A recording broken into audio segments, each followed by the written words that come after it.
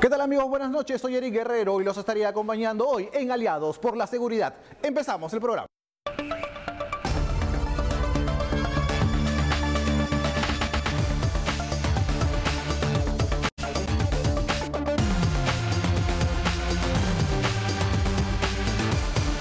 Trágico final. Es una persona inmadura, con pobre control de impulsos, impulsiva, con conflictos también en el área sexual. Sheila Cóndor y el perfil de su verdugo.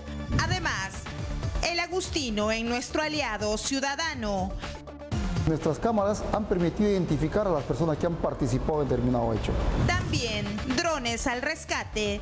Ahora podemos tener drones en los cuatro sectores que podamos instaurar en un incendio y ver cómo nuestras operaciones están afectando los costados. Tecnología para salvar vidas y además canto de libertad.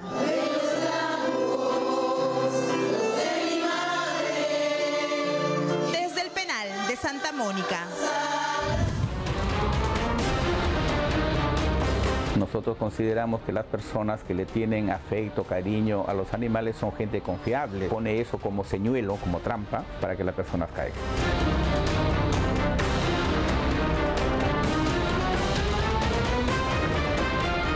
Esta persona denota eh, un perfil criminal porque nunca se arrepiente lo que hace con Sheila.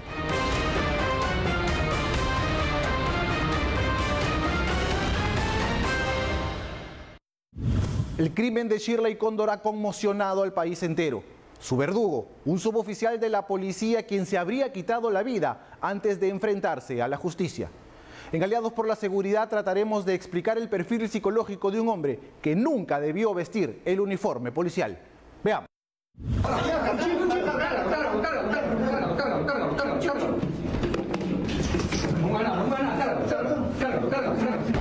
Es una persona inmadura, con pobre control de impulsos, impulsiva, con conflictos también en el área sexual. Darwin Marx Condori Antesana es el principal sospechoso del brutal asesinato de una joven de 26 años.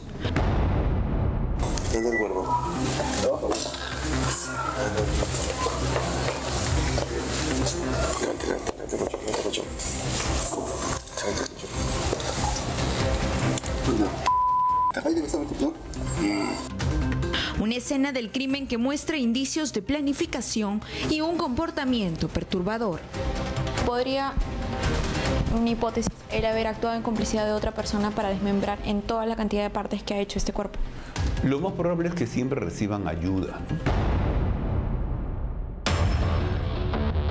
Cercenó a su víctima en al menos 30 partes. Un hombre con rasgos psicopáticos que alarmantemente vestía todos los días el uniforme de la Policía Nacional. ¿Qué tan peligroso sería para la sociedad tener elementos así en la policía? Eh, se le da licencia para matar. Así de sencillo. Un rostro amigable que mostraba en redes, pero que en realidad escondía el perfil de un agresor, abusador y potencial asesino. Ahora mi hija ya no está conmigo, ya no, ya me han, me han quitado mi hija, ya no existe mi hija. Eso es lo que yo me siento indignada.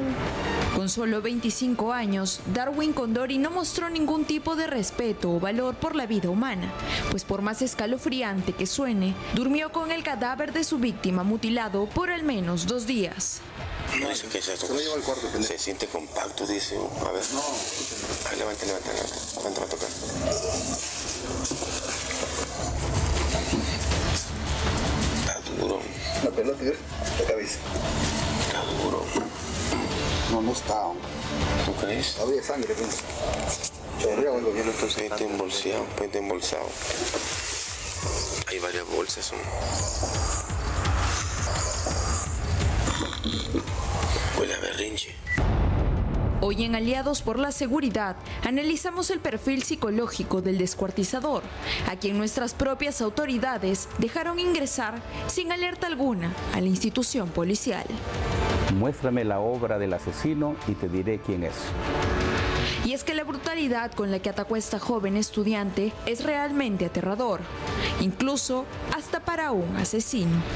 Es impulsivo y también es inmaduro. Generalmente los descuartizadores eh, le cortan los hombros, de ambos hombros, y es suficiente para introducirlo en una bolsa y llevarlo a arrojar. Pero no le cortan, pues, por ejemplo, la mano, la muñeca, no le cortan los codos o, los órganos, ¿no es cierto? Y eso más bien muestra que esta es una persona que se desespera por querer desaparecer el cadáver. La noche del miércoles 13 de noviembre, el principal objetivo del suboficial de tercera era pasar desapercibido. Nadie debía advertir que tenía un cadáver bajo su cama. Retrocedamos un poco en esta línea de tiempo. Sheila, su víctima, fue vista por última vez acompañada de este sujeto. Según la familia, se habrían conocido a través de redes sociales, donde Darwin buscaba ganar la confianza de ingenuas muchachas, aparentando ser un hombre común y corriente. Nosotros consideramos que las personas que le tienen afecto, cariño a los animales son gente confiable, son gente muy sensible. Pero ese tipo de personas utilizan esas creencias de las personas para poder obtener eh, un, beneficio, atraer a las personas. Pone eso como señuelo, como trampa o como anzuelo para que las personas caigan. Este habría sido el principal motivo por el que la joven Sheila habría acudido a su departamento. Él no muestra signos de nerviosismo en ningún momento, hasta denota cierto grado de amabilidad. Esta diferencia entre su comportamiento inicial y el cadáver encontrado bajo su cama genera interrogantes sobre su estado mental y su capacidad para disociar sus actos. Los cortes que se ven aquí eh, para desmembrar la, pierna son cortes precisos, no hay ninguna duda. Esta fatídica historia ya es conocida por todo el Perú y es que la brutalidad con la que se ha actuado contra la víctima es como sacada de una película de horror. Estas son las manos. También los trazos son firmes. Desde el codo, Sí, desde el codo, pues son firmes los, trazos. O sea, no hay la acción dubitativa de, uno no saber qué hacer, ¿no? Que la persona este, no, lo ha hecho este, sin estar nervioso, sin estar tenso, porque los cortes han sido precisos. Apunta que el autor es el suboficial de tercera. Pero lo extraño en este caso es como una persona con características psicopáticas que saltan a la vista habría ingresado a la Policía Nacional sin despertar sospecha alguna. Pero usted cree que en la policía que se presentan miles de personas para se les va a hacer un examen? Cuando un examen psicológico, por lo menos así, eh, superficial, se demora mínimo unas tres horas con cada uno. La selección en el campo psicológico, desde mi punto de vista, es inadecuada en todas las instituciones, no solo en la policía. Y es que este caso deja entrever cierta deficiencia en la selección de los futuros oficiales y suboficiales de la policía, carencias que hoy dejan consecuencias tan crudas como estas. Aquí tiene que verle impulsividad, irritabilidad, control de impulsos, etc. Eso sí se puede determinar. Porque si tenemos esta, eh, una personalidad, por ejemplo, un psicópata misógino, que ingresa a la policía, hace barbaridades. Incluso el efectivo ya había sido denunciado por abuso sexual contra múltiples víctimas solo el año pasado. La gran incógnita es por qué permanecía dentro de la institución con estos antecedentes. Si bien la causa de muerte de Sheila Cóndor Torres aún es imprecisable, su cuerpo deja un mensaje oculto que probablemente su verdugo no tomó en cuenta. Mira, me parece demasiado precisas. Parece que, mira, es poco probable que esta persona no haya requerido ayuda. Asumiendo que esta chica debe haber pesado 60 kilos, es difícil de manipular 60 kilos. Por la exactitud de las laceraciones, el médico legista desliza la posibilidad que Darwin Condori Antesana no habría actuado solo.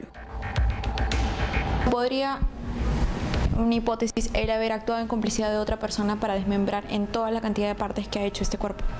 Lo más probable es que siempre reciban ayuda.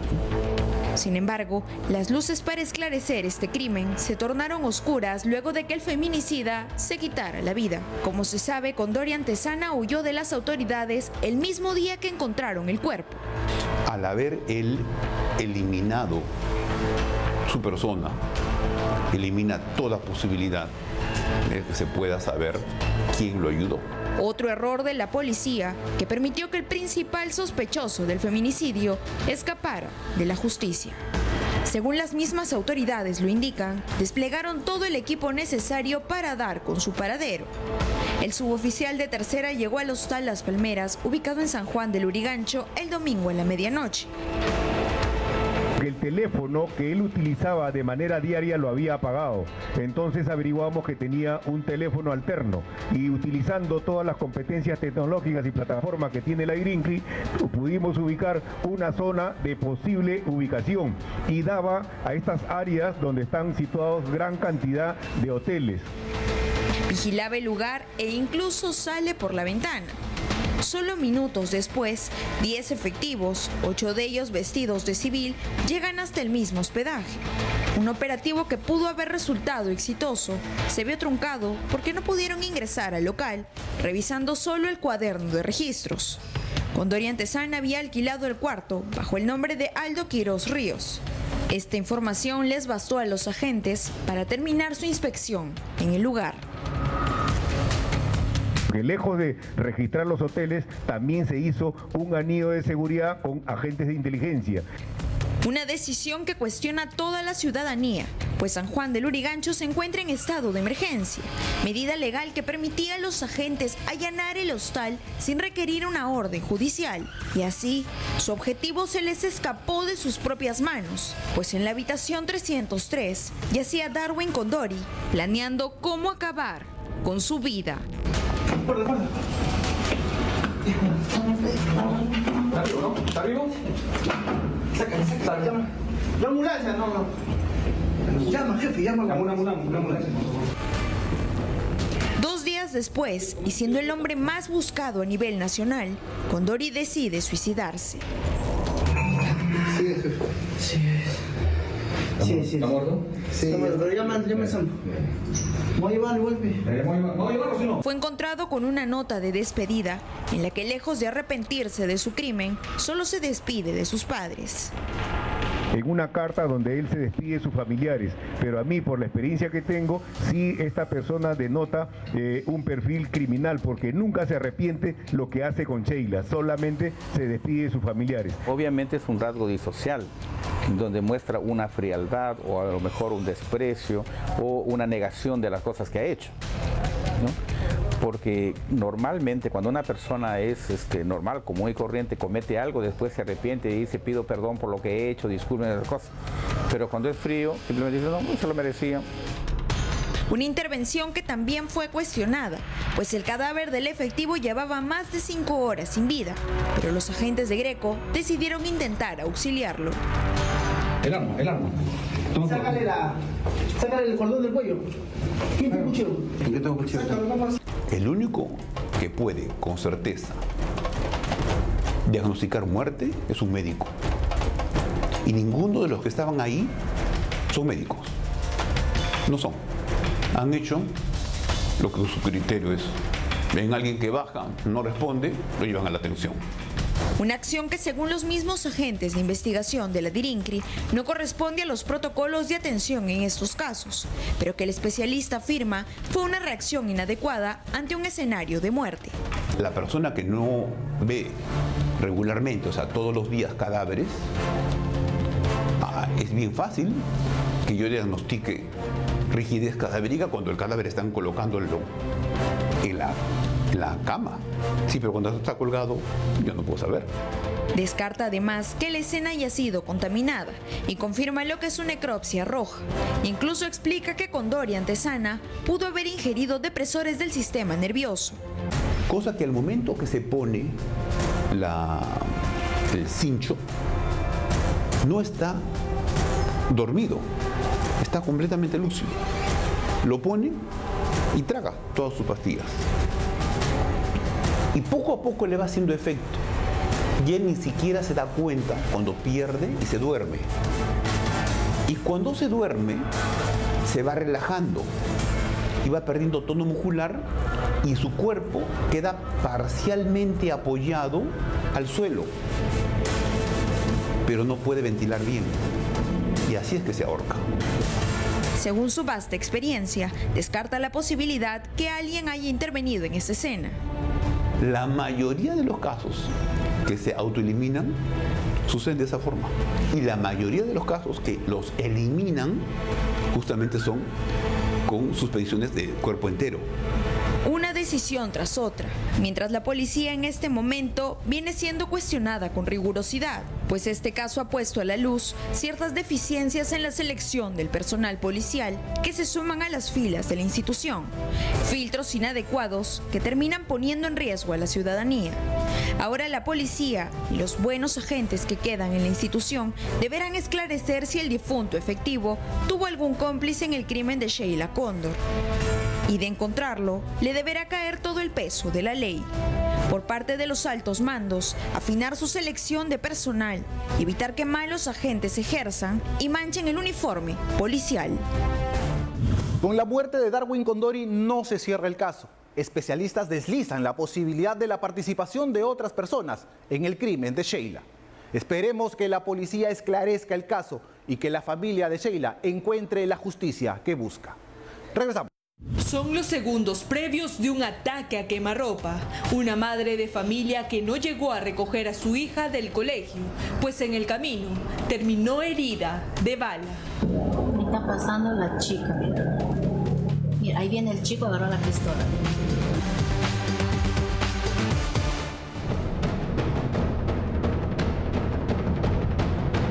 ¿Dónde están? Ahorita vamos, espera a tu hijo, no la agarres de acá porque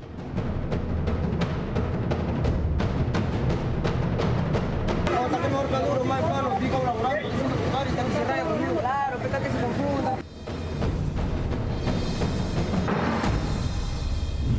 Desde el auxilio a una madre herida de bala hasta la captura a tiempo de delincuentes al paso y robacasas. Así enfrenta el Agustino la delincuencia en sus calles, con más de 200 cámaras de videovigilancia al servicio de la comunidad. Veamos. ¿Dónde están? Ahorita vamos, a tu hijo, no la agarres de acá porque su brazo está lastimado. Delitos captados en video que fueron atendidos con rapidez y eficacia por serenos del Agustino. ¿Te gusta robar el delivery? Yo no robo delivery, señor. Sí, ¿Entonces a quién robas? ¿Tú sabes quién roba? ¿A quién robas? Tú sabes quién roba. No sé a quién robas. ¿Tú, ¿Tú sabes? Tú sabes. Y una central de seguridad desde la que se coordinan intervenciones necesarias para hacer frente al crimen que acecha en las calles. Supuestamente la graveada, ¿ya? Ellos que, que han robado ya. El- Estos son los agraviados y ellos son los sujetos que habían robado en su domicilio una bicicleta y un ventilador. Son los segundos previos de un ataque a quemarropa. Una madre de familia que no llegó a recoger a su hija del colegio, pues en el camino terminó herida de bala. Me está pasando la chica, mira. Mira, ahí viene el chico, agarró la pistola. Cara. Es peruano, es peruano. corre. Corre, ¿ves? Se trata de Karina Ramírez Villanueva, de 40 años, quien sufrió este cobarde atentado contra su vida el pasado 6 de octubre, en el cruce de las avenidas Ferrocarril y Casuarinas, en el distrito del Agustín. ¿Dónde están? Ahorita vamos, espera a tu hijo, no la agarres de acá porque su brazo está lastimado.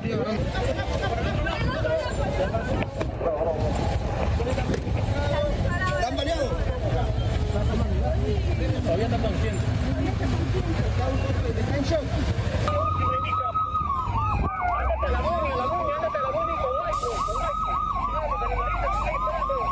Tres impactos de bala que pudieron ser mortales, parte de un presunto intento de asesinato por encargo que tendría un trasfondo familiar. Tenemos conocimiento que tuvo uno en el pecho, otro en el, en el hombro y otro que ha, que ha rozado prácticamente la parte del cerebro, que se ha alojado en una parte de ella. Naturalmente cuando vemos las imágenes la señora grita, todavía está consciente, pero cuando llega al hospital ya prácticamente pierde la conciencia y es intervenida inmediatamente a- a cirugía. En solo minutos, agentes municipales acudieron al lugar de los hechos para facilitar el traslado de la mujer a un hospital cercano. Segundos valiosos que permitieron salvarle la vida. Al llegar en forma inmediata, como primeros en llegar, vimos la gravedad de la señora. Hemos tenido que sacar a la señora hasta en contra del tráfico, apoyado de diferentes motorizados para que abran los pases y llegue a tiempo al hospital Bravo Chico. La mujer se encontraba fuera de peligro, pero aún quedaba pendiente dar con alguna pista que logre identificar a los responsables de lo que pudo haber sido una tragedia. Por ello, desde la Central de Seguridad Ciudadana del Agustino se recabaron imágenes claves que dieron con el vehículo del que habría descendido el atacante. Antes de eso pasaron dos carros rojos, dos guindas con unas polarizadas. A ver, a ver, por favor. En la chica ya. ¿A qué hora pasa ese carro? 12 y 14 con... Ese carro es un, ese carro es un Volkswagen, creo. Si sale otro sale a las 12 y 15. Imágenes que además facilitan la investigación policial. Nuestras cámaras han permitido identificar a las personas que han participado en determinado hecho, porque esto nos ha permitido llegar al número de placa del vehículo, a la persona que ha estado conduciendo, ¿no? para facilitar todo este espacio a la Policía Nacional para que averigüe e investigue este caso. Todo este acumulativo permite facilitar a la Policía Nacional para que haga las investigaciones del caso. Esto permite llevar a capturar a los implicados en este caso. Todo este material fue puesto a disposición de las autoridades a cargo del caso.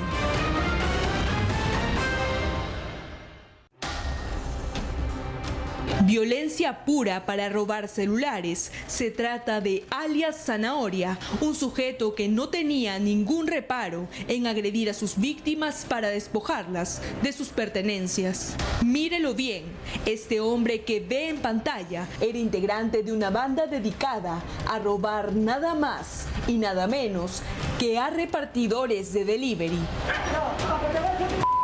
Hace solo tres meses, en un operativo policial se le había capturado junto a sus cómplices, ocho sujetos de los cuales dos fueron condenados a 13 años de cárcel por estos atracos.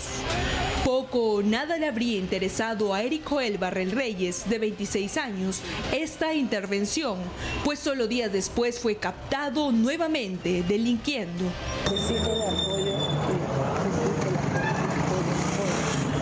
Serena lo había identificado y tras pedir ayuda lograron capturarlo.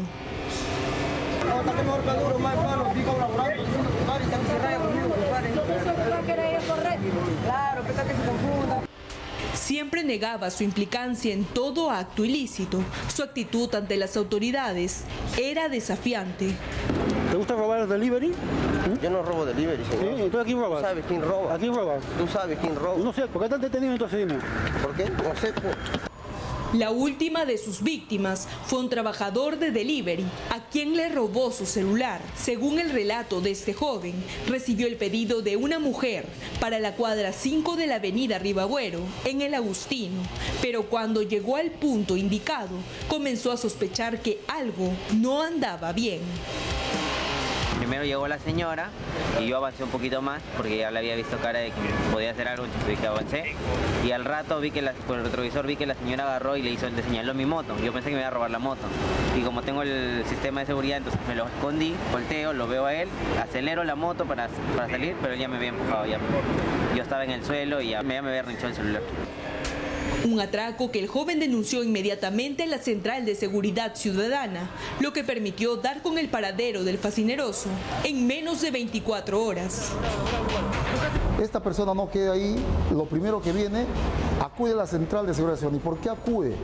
Porque aquí en la central, rápidamente antes de una denuncia, estamos facilitando videos y estamos dando seguimientos antes de las 24 horas para coordinar con las unidades especializadas para que se haga la captura de estos individuos.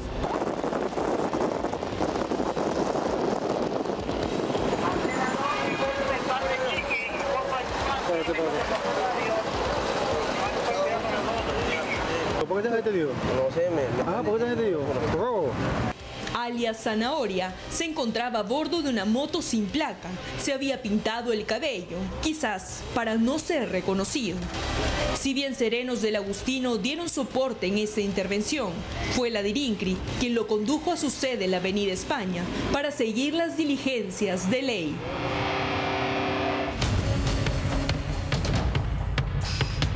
Aprovechaban el descuido de propietarios para ingresar a sus viviendas y apoderarse de sus pertenencias.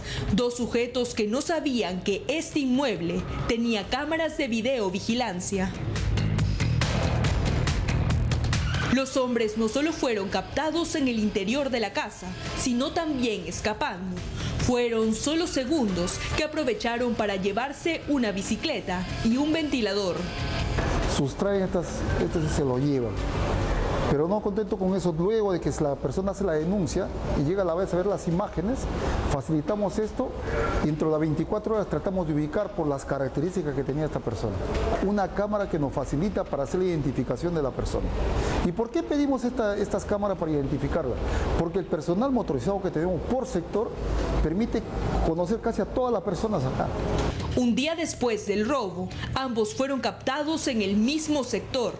Un llamado de la víctima de robo facilitó su pronta captura.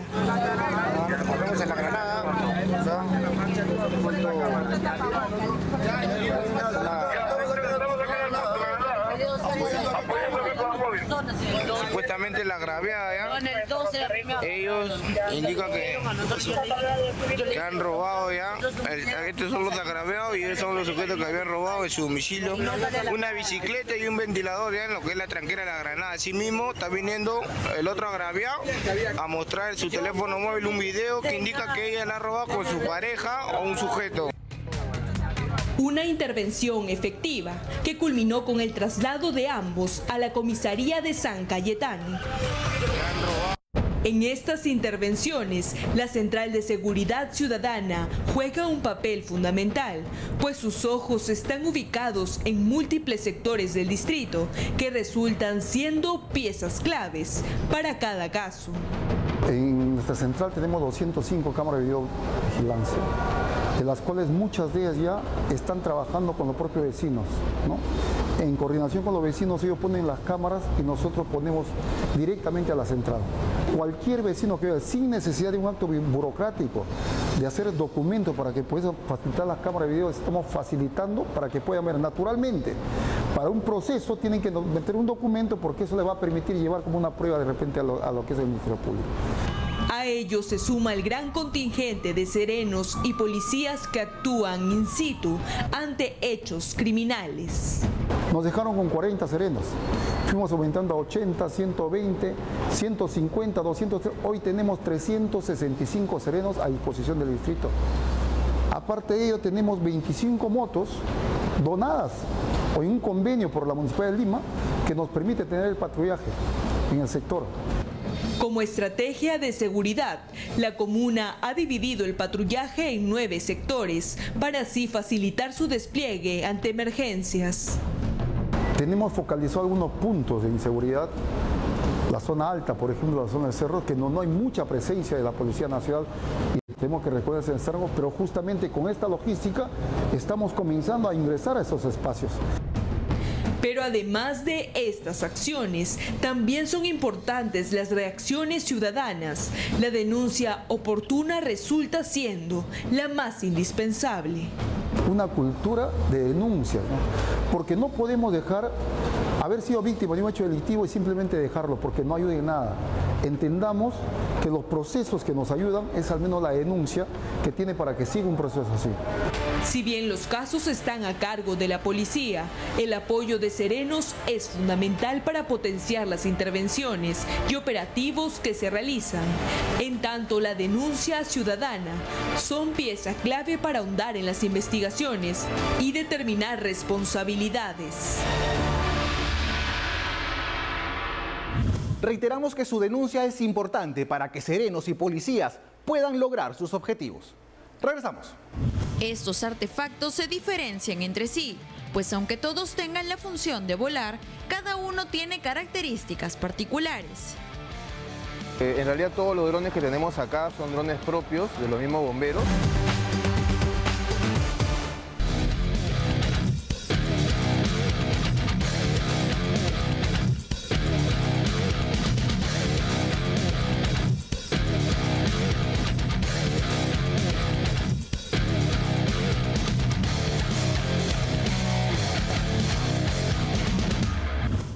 Iniciativa más de los hombres de rojo y es que ellos han visto la forma de equiparse con drones para mejorar sus labores de rescate y sobre todo correr menos riesgos al momento de apagar un incendio. Veamos.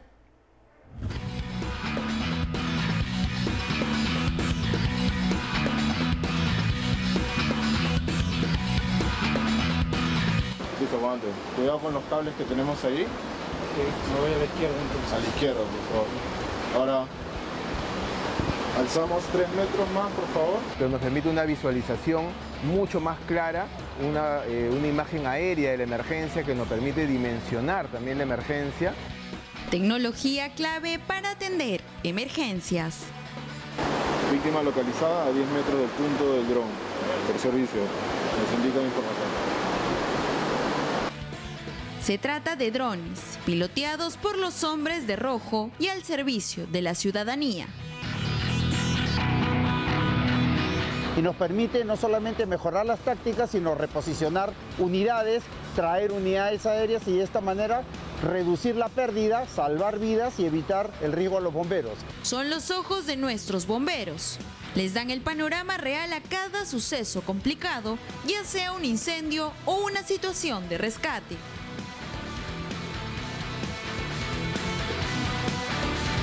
Antes nosotros teníamos que subirnos en la punta de las escalas y de ahí entre el humo y el fuego, por ejemplo en caso de un incendio, tratar de mirar cómo iba la progresión.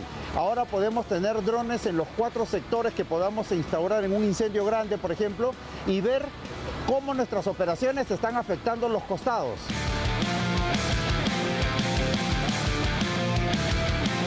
Se han convertido en un elemento vital, pues permiten acelerar la labor de los agentes, ya que pueden localizar con mayor facilidad el foco del fuego.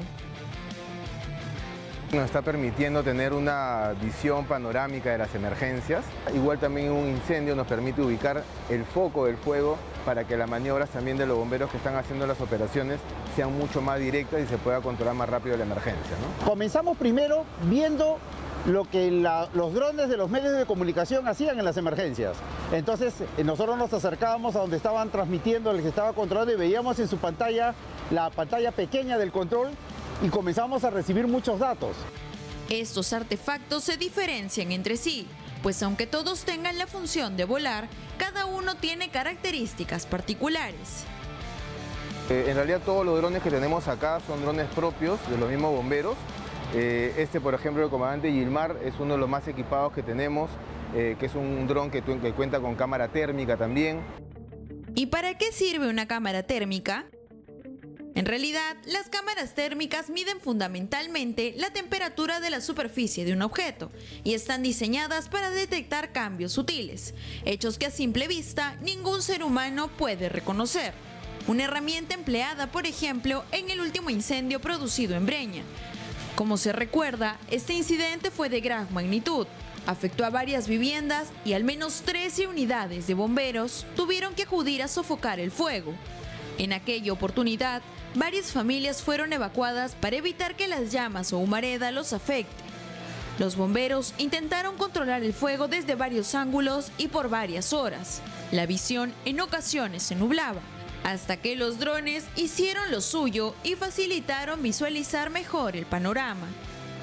Y este puesto comando recibe la visión, en caso de un incendio, de posibles rutas de propagación de fuego, posibles riesgos para los bomberos y nos permite no solamente mejorar las tácticas, a lo largo de las horas de trabajo podíamos ver que el fuego iba encontrando nuevos caminos para seguir creciendo y los drones nos indicaban por dónde y replanteábamos las estrategias de ataque en ese lugar. Este tipo de cámaras permitió identificar el lugar exacto donde el fuego se avivaba, por lo que los agentes ya sabían dónde atacar. Logramos evitar la propagación inicial desde el piso, viendo cómo el fuego se propagaba y lo pudimos confinar. Sin duda alguna, estos aparatos tienen múltiples funcionalidades. Cada una resulta ahora muy útil a la población. Cada uno de ellos cuenta con sus características eh, desde cámara, la transmisión que realizamos al mismo control. Podemos también transmitir con algunos controles que se manejan desde vía celular, transmitir eh, a través de plataformas virtuales como Meet o Zoom para que cualquier comandante que esté distribuido, inclusive en la emergencia, puede de su teléfono celular puede estar visualizando las imágenes que está observando el dron en el aire. ¿no? Pero no solo detectan o alertan el calor en incendios, pues estos dispositivos también reconocen el calor corporal por lo que ayudan en las operaciones de rescate. Nos permite no solamente mejorar las tácticas, sino reposicionar unidades, traer unidades aéreas y de esta manera reducir la pérdida, salvar vidas y evitar el riesgo a los bomberos. En casos de rescate, personas perdidas, nos permite mapear mejor el terreno y enfocarnos en las zonas donde puedan estar perdidas las personas y a las unidades de rescate darles una visión panorámica del escenario en el cual van a trabajar, cosa que tomen las mejores técnicas y tácticas para poder rescatar a la persona. En zonas agrestes o de difícil acceso, los hombres de rojo suelen exponerse para salvaguardar al herido. Sin embargo, con esta herramienta se reducen los riesgos que se corren en cada operación.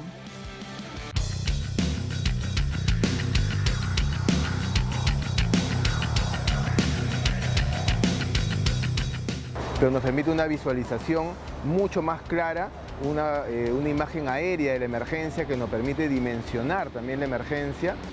Incluso en otros países, estos drones son utilizados para controlar incendios forestales, pues sus cámaras térmicas reportan cuáles son los focos calientes y las zonas de humo. Además, algunos de ellos cuentan con un sistema que geolocaliza a cada bombero en tiempo real, por lo que aumenta la seguridad del efectivo. Asimismo, se puede saber exactamente la evolución del fuego y ubicar los puntos calientes, facilitando la coordinación de la misión de los equipos desplazados. Definitivamente eh, estamos cambiando un poco el rumbo del manejo de las emergencias porque con las visiones que tenemos en el aire permite al comandante del incidente que está en la emergencia tomar unas mejores decisiones. Equipos cruciales que esperamos algún día lleguen a nuestro país y faciliten las operaciones de estos valerosos hombres y mujeres, quienes con sus propios recursos e iniciativa forman esta importante unidad. Había iniciativa de bomberos que tenían sus drones propios, porque todos estos drones son propios de los efectivos del cuerpo, que llegaban a los incendios a tratar de ayudar. Hemos logrado cohesionar un equipo en donde los efectivos traen sus drones hacia las zonas de emergencia y responden a las órdenes tácticas de un puesto comando. Listo, comandante. Cuidado con los cables que tenemos ahí. Ok, me voy a la izquierda entonces. A la izquierda, por favor.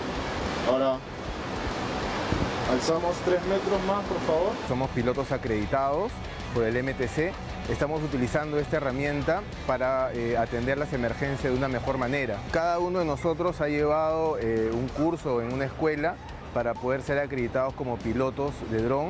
Eh, luego también ya de pasar por la evaluación del Ministerio de Transportes y Comunicaciones, quienes nos han entregado, nos han eh, certificado con una licencia. El trabajo con estas naves requiere también de mucha comunicación y coordinación, por lo que es necesario un trabajo en equipo. Inclusive nosotros, como un procedimiento interno, el, el piloto que está manejando el dron siempre va a estar acompañado de un copiloto que le va a estar indicando eh, la calidad del aire, si hay alguna interferencia de KP, por ejemplo, porque son diferentes valores que tenemos que ver en condiciones que sean óptimas para un vuelo de dron. Víctima localizada a 10 metros del punto del dron, por servicio. Nos indica información. En total, son 12 pilotos altamente capacitados, quienes también coordinan con sus pares de distintas instituciones para maniobrar con seguridad los equipos. En este espacio aéreo solamente deben trabajar los drones del cuerpo de bomberos, por eso es mucho la coordinación con los demás. Llega la prensa, viene con sus drones, le asignamos una altura arriba de esta zona para que ellos puedan operar con tranquilidad, haciendo las tomas que consideren necesarias sin llegar a ver una colisión o una interferencia con los drones que están trabajando operativamente en la zona. Agentes siempre dispuestos a apoyar, que han utilizado sus propios recursos en favor de los demás otra muestra de su gran vocación de servicio.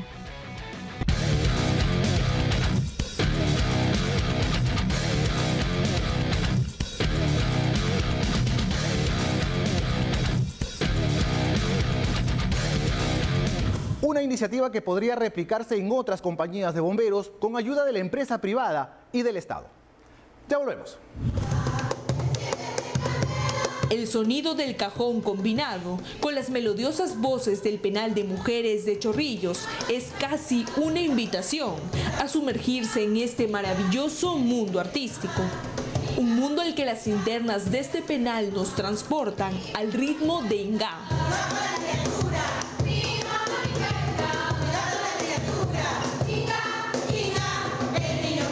Que simboliza el mestizaje peruano, ese que llevamos impreso en nuestro ADN.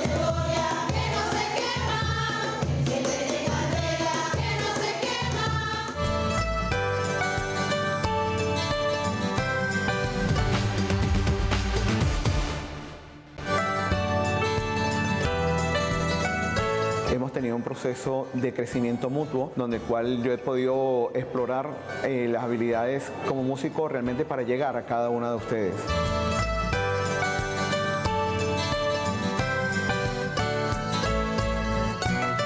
Cuando un interno accede al trabajo y a la educación relacionados a las artes, como a la música, historia de música, los niveles de reincidencia han bajado hasta el 95%.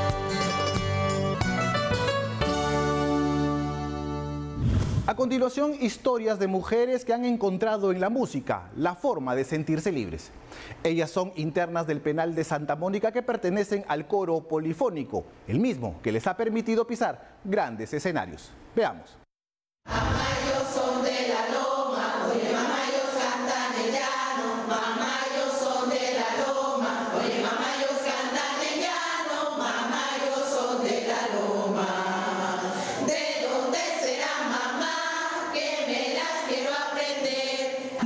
Unidas por la música, convencidas de que este arte transforma. Ellas son las estrellas del penal de Santa Mónica, parte del coro polifónico que surgió tras las rejas. Y la Jessica es otra, porque me gusta cantar y, sigo para adelante, ¿no? Hasta el día que me tenga que abrir las rejas, ¿no? Como dice. Y si tengo que salir afuera a cantar también lo hago, porque ya sé timidez lo que ella.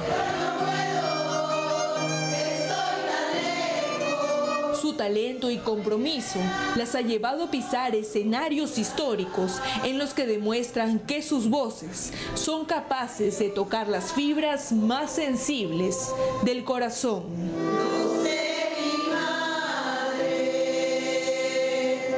Siempre he soñado en estar en escenarios grandes porque me gusta mucho la música, pero jamás pensé que iba a llegar a ese tipo de escenarios.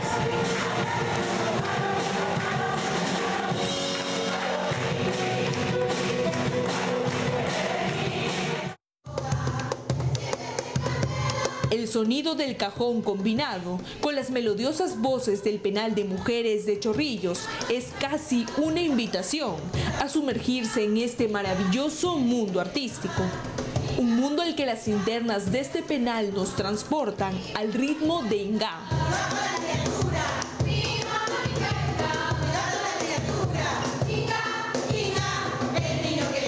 Que simboliza el mestizaje peruano, ese que llevamos impreso en nuestro ADN.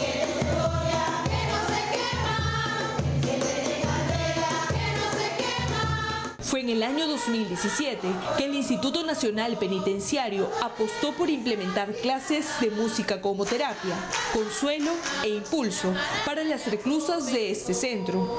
Su proyecto era ambicioso, convertirlas en artistas completas. Y así fue.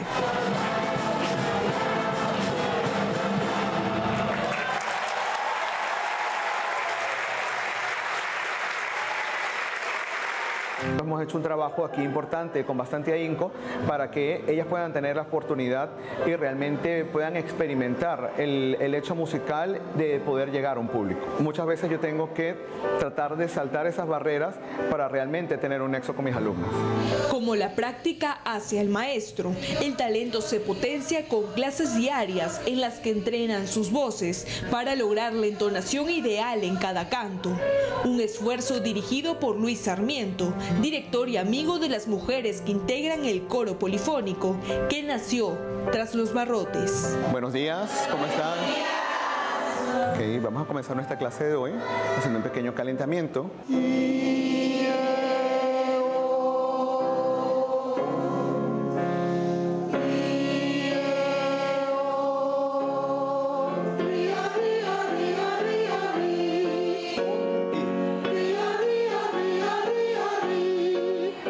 hemos tenido un proceso de crecimiento mutuo, donde el cual yo he podido explorar eh, las habilidades como músico realmente para llegar a cada una de ustedes. Todo aquel que ha visto en vivo a estas mujeres no solo queda atónito por sus voces, sino también por los sentimientos que logran transmitir a su público con canciones que llegan al alma.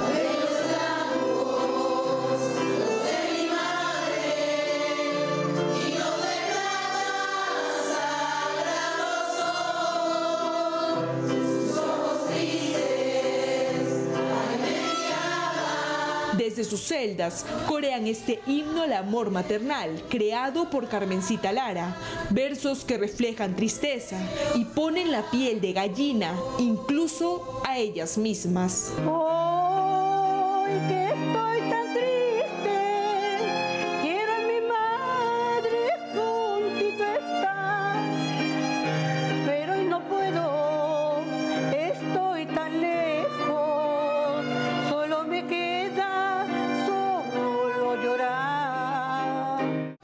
Blancos nos permitió conocer el alma de Jessica, una mujer aguerrida que ha encontrado en la música refugio y paz. Cabellos blancos, los de mi madre, y los de plata sagrados son.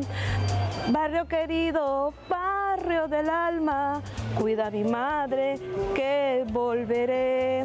Una voz que se quiebra cuando habla del amor. Que estoy tan triste, quiero a mi madre juntito está. Ya no. ¿Tus canciones favoritas, Jessica? Ah, son mis canciones de Cabellos Blancos. Cabellos Blancos. Que eso le canté a mi mamá por eh, el Día de la Madre, ¿no? Por teléfono le canté y cuando vino a visitarme también le canté. Fue, esa canción fue muy bonita para mí porque lo, sentía todo, pues, ¿no? Extraño. Extraño, pues, a, a mi madre porque a pesar de todo mi mamá está conmigo en las buenas y en las malas, ¿no? Nos cuenta que sus ganas de cantar fueron más fuertes que su timidez, un hecho que le ha permitido presentarse al mundo como artista. Nunca pensé llegar a un escenario tan grande y donde haya tanta gente y que te aplaudan. Es lo bonito. Tanta producción detrás. Sí, nuestro traje, es una producción que nos hacemos todas, ¿no? Y es lo más bonito que le he pasado, ¿no? Thank you. Mientras cumple su condena, trabaja en una mejor versión de sí misma que, asegura, ya ha notado su familia. Que me vean, pues, ¿no? Que hace muchos años, pues, ¿no? La Jessica era tímida, ¿no? Ahora que ya no, Jessica la ven de acá para acá, las técnicas Hidalgo, porque más me dicen por Hidalgo, te viste en esto, qué bueno, sigue así, muy bien, has cambiado en esto, en esto. Entonces yo me siento bien, ¿no? Porque tengo buenas, como esas opiniones de, las, de mis técnicas, como se dice, ¿no? Y es que la música no solo transforma, sino también cura. Y eso lo sabe bien Jocelyn, una mujer que ha logrado varios sueños siendo parte de las coristas de Santa Mónica. La música me lleva a otro, a otro panorama, a otra vista. Hay veces me olvido que soy presa y siento mi libertad en el cuerpo y en mi mente. Su talento ha hecho que sea protagonista de varios números musicales en los que toca el cajón o el piano. Es una presentación en la cual por primera vez voy a tocar el piano. Y He eso visto me tocar varios sentir instrumentos. Sí, ¿Los has aprendido acá o ya tenías un conocimiento? aquí he aprendido. De un momento a otro le dije al profesor, profesor, ¿qué tal se me enseña el piano? Porque a mí me gustan mucho los instrumentos y ya tengo conocimiento en guitarra. Me dijo, bueno, si quieres intentarlo, vamos a hacerlo. Y desde que lo agarré no lo solté. Nos cuenta que desde pequeña quiso ser artista, pero que en libertad solo llegó a aprender a tocar la guitarra. Ahora la música se ha vuelto su principal motor para seguir adelante. La música es parte de mí. Es más allá de, más allá de lleva la música, porque yo soy consciente que pudiera estar en otro lugar o en otras circunstancias, pero la música me lleva a relajarme, a sentirme mejor. A sentirte viva. Eso. Pero cuando hablamos de música, no solo hablamos de cantarla, sino también de bailarla. Y es que Jocelyn es multifacética. Por ello se animó a enseñarnos algunos de los pasos de baile que difunde en su propio taller. Un talento que nos queda claro, no todos llevamos en la sangre. Por ello, preferimos dejarle la pista de baile. Los sueños se hacen realidad para esta joven, mentalizada en seguir haciendo arte en las calles. Una mujer que en cada una de sus presentaciones recuerda a su familia, especialmente a su padre. Que lo amo mucho, que le agradezco por estar conmigo en estos peores momentos.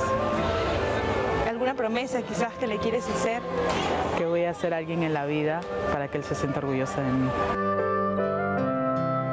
Santa Mónica ha dado a cada una de las integrantes del coro una oportunidad para hacerse notar, pero también para hacer el bien. Ahora llenan escenarios, las aplauden y reconocen su talento. Wow, estar en un escenario.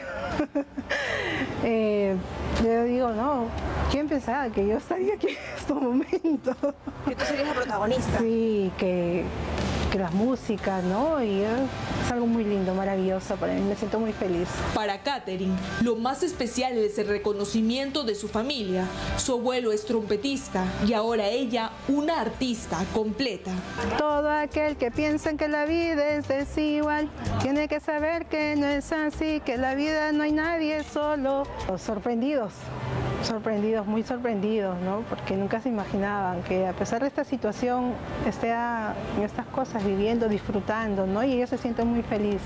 Me dicen, hija, qué bueno, qué lindo, es algo muy maravilloso. A pesar de la situación, tú siempre sigues ahí, ahí, luchando en cualquier cosa, aprovechando las oportunidades, ¿no? Y más la música. Tiene pensado estudiar administración cuando acabe su condena, pero lo que más anhela es el poder estar junto a su familia.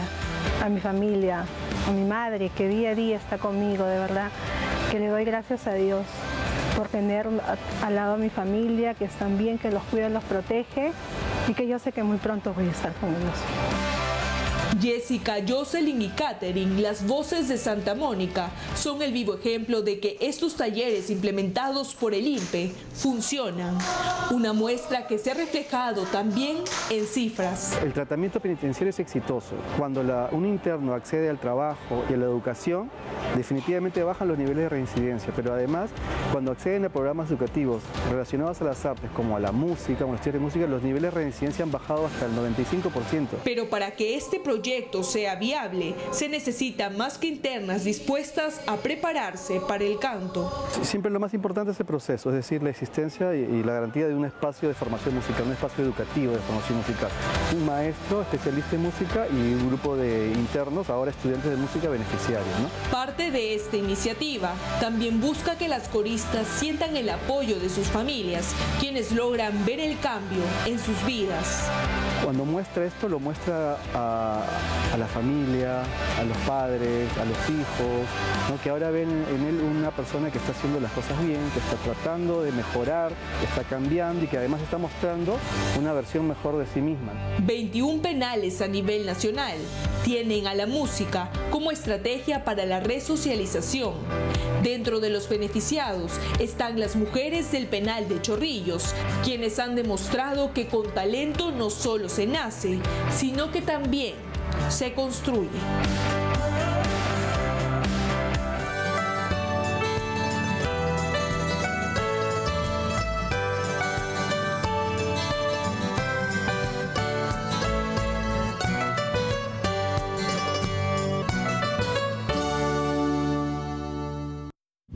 No cabe duda que el arte transforma y es el camino de muchos hacia la resocialización. Esto ha sido todo por hoy. Nos reencontramos la próxima semana. No se olvide de seguirnos por nuestras redes sociales en YouTube y en Facebook, porque aliados por la seguridad somos todos.